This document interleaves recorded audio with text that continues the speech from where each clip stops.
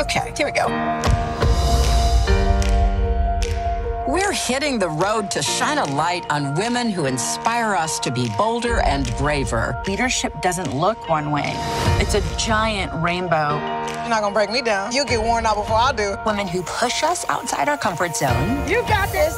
And make us laugh. I'm in deep Georgia, and they might have never met a Muslim. Or they don't know they have. Or they don't know they have because we walk among you.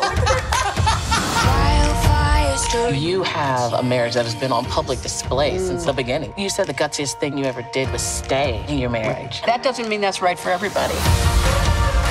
To throw someone's life away when people really do make changes, I just believe in second chances. My mother needed rehabilitation, not prison. Your survival is your power.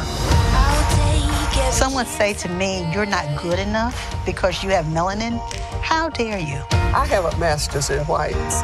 I just want whites to get a GED in blacks. every single person makes some impact on the planet every single day. We can choose what sort of difference we make. Speak truth to power. When I throw rocks, I'm throwing them up.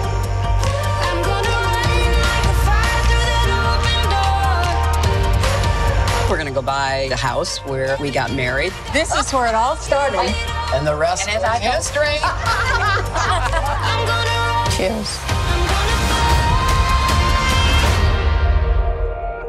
By putting down the bad things and lifting up the good things, we bring balance to the world. You literally become one with yourself.